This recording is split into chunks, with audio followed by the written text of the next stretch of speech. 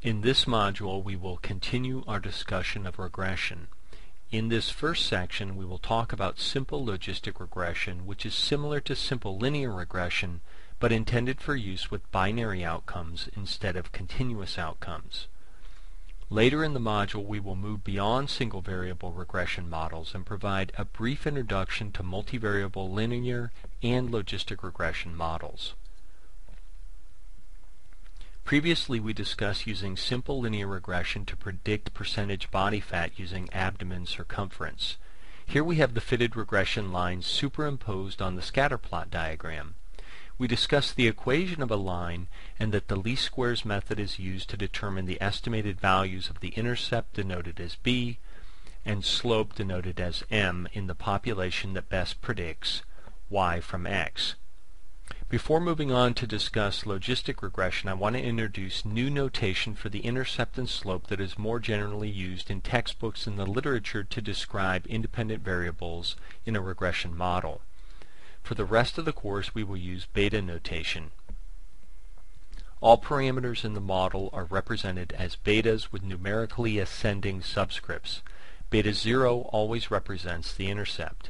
Beta 1 represents the slope associated with the independent variable being used to predict the, the dependent variable. As we will see, this notation becomes very convenient when we generalize our models to include more than one independent or predictor variable.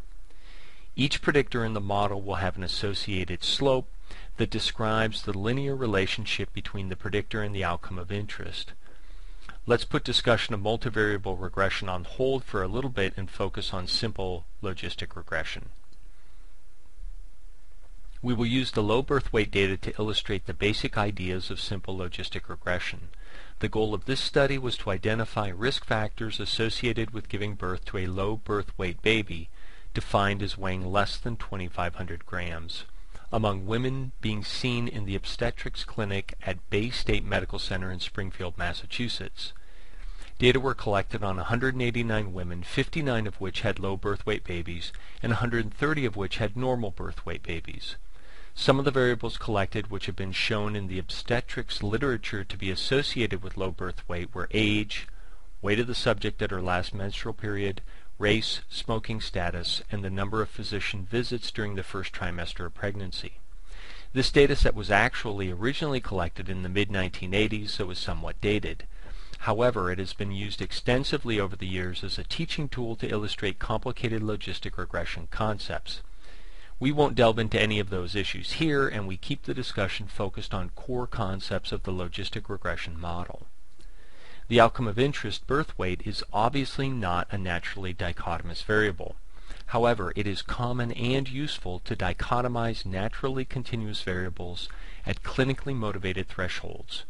We see 59 out of 189, or 31% of women gave birth to babies weighing less than 2,500 grams. We will consider two different independent variables, or predictor variables, in this data set. The first is weight in pounds of the mother at her last menstrual period. We see that the sample mean weight is 129.81 pounds, with a standard deviation of approximately 31 pounds. The second variable is smoking status of the mother during pregnancy. We see that 74 out of 189, or 39% of women in the sample smoked during pregnancy. Our initial goal is to discuss simple logistic regression, so we will focus on examining the relationship between a single independent variable with the outcome of interest, low birth weight. In this section, we will focus on weight at the last menstrual period. Then in the next section, which is the StatCrunch demo, two models will be discussed, the weight model and a separate model examining the relationship between smoking status and low birth weight. We have purposely selected one continuous and one binary independent variable in order to illustrate the difference in interpretation associated with each in the context of logistic regression. In general, the independent variable can be continuous, ordinal, categorical, or binary. Later in this module, we will discuss multiple logistic regression where the model contains more than one independent variable. For the low birth weight data, we will examine a model that contains both weight at last menstrual period and smoking status and examine their relationship to low birth weight.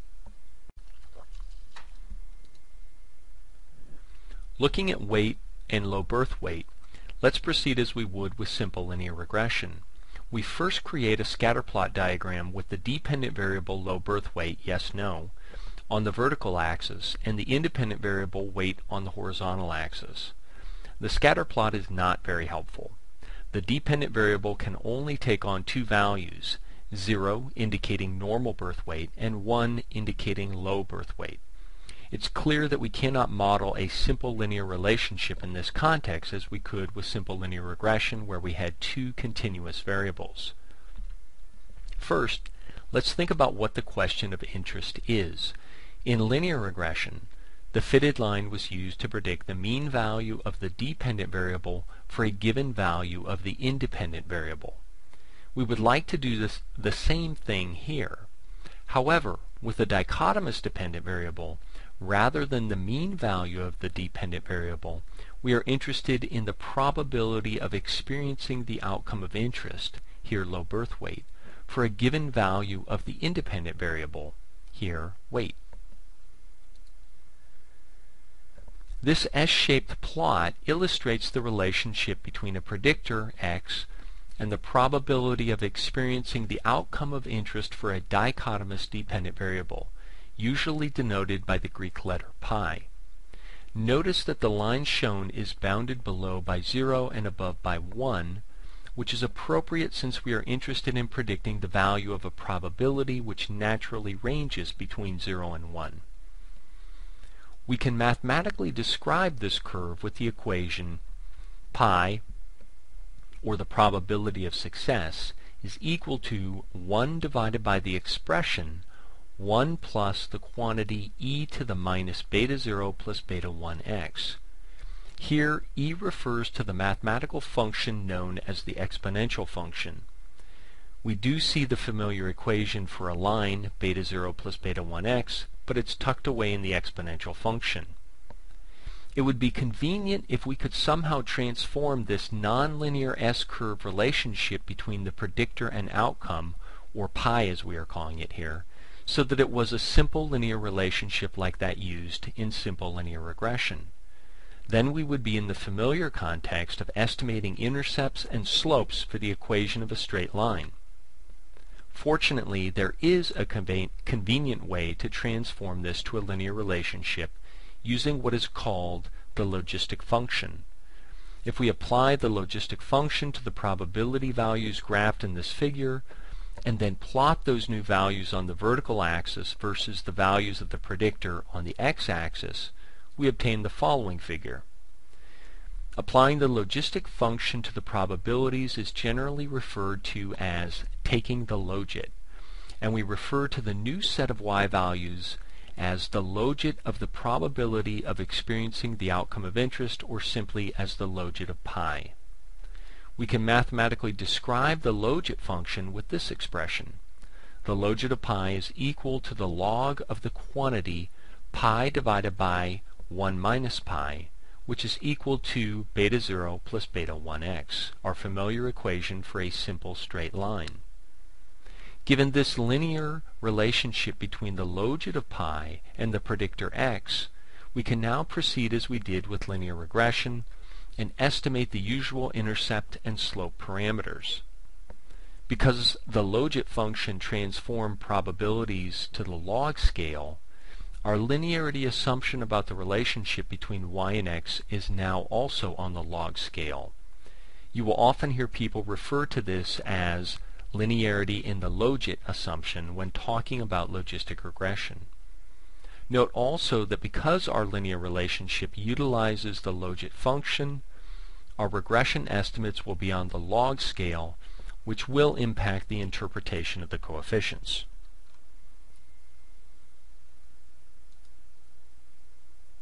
We can show these relationships graphically using a figure taken from the simple linear regression lecture.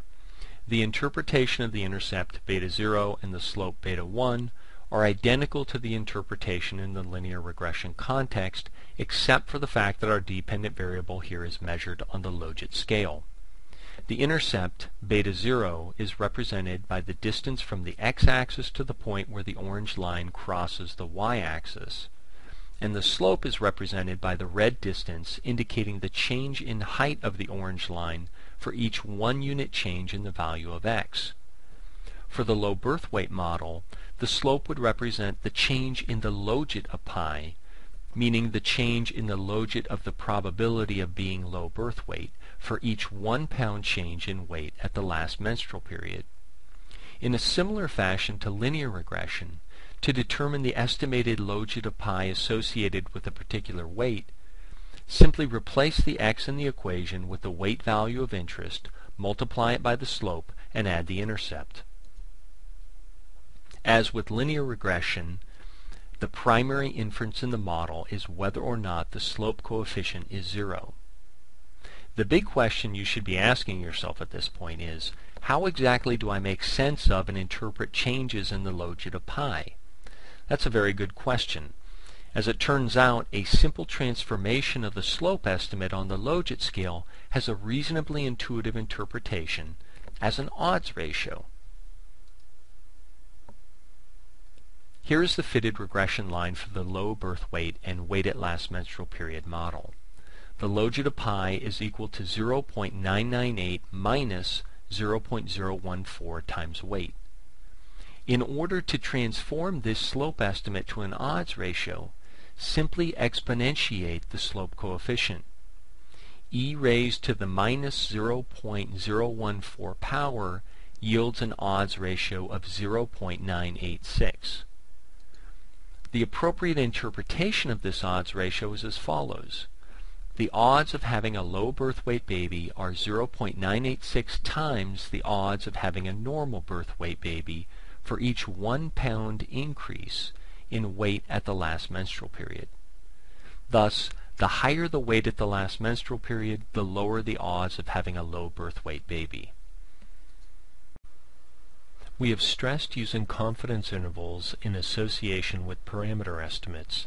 If the statistical software output provides the confidence limits for the slope on the logit scale, you can obtain the lower confidence limit and upper confidence limit for the odds ratio simply by exponentiating them. Now we have an odds ratio based on a one pound change in weight.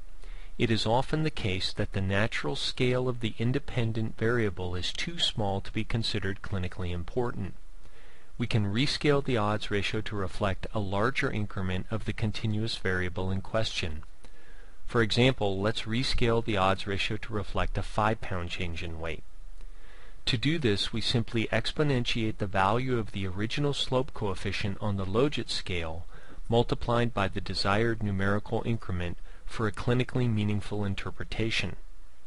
The correct interpretation of this rescaled odds ratio is the odds of having a low birth weight baby are 0.93 times the odds of having a normal birth weight baby for each 5 pound increase in weight at last menstrual period.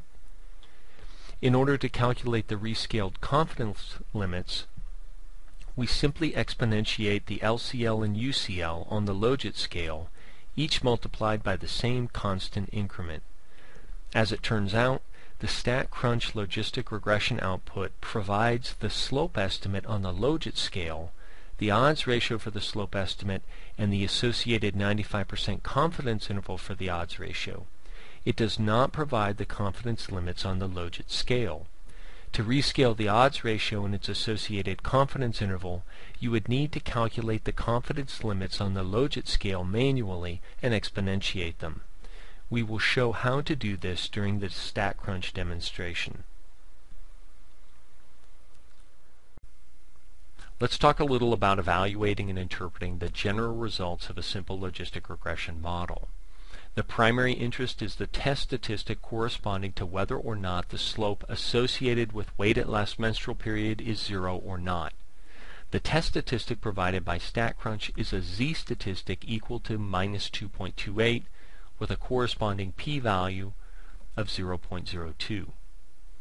The p-value for the slope is less than 0.05, indicating a statistically significant result. We therefore conclude that the population slope for weight at last menstrual period is non-zero. For reporting and evaluating the clinical implications of the results, it is generally preferred to report the results in terms of odds ratios as opposed to the logit scale slope estimates. We again use a similar approach to previous tests. Report the odds ratio estimate of 0.986, report a 95% confidence interval for the odds ratio from 0.974 to 0.998, report the p-value of 0.02. We should emphasize that for continuous independent variables, the interpretation of the odds ratio is dependent on the linearity in the logit assumption. That is, the that the association between the independent and dependent variable is constant across all values of the independent variable. Although we will discuss the simple logistic regression model examining the relationship between low birth weight and smoking status in the StatCrunch demo, let's say a few words about categorical independent variables here. The exponentiation of the slope coefficient of a dichotomous variable has an odds ratio interpretation analogous of that for a continuous variable.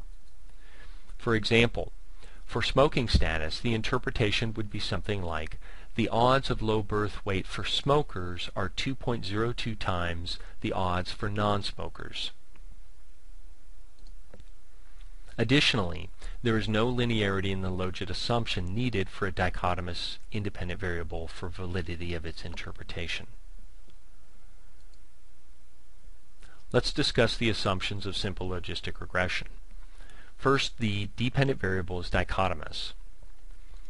We note that there are generalizations of the logistic model to more than two categories, but discussion of this is beyond the scope of this course. We assume linearity in the logit for continuous independent variables.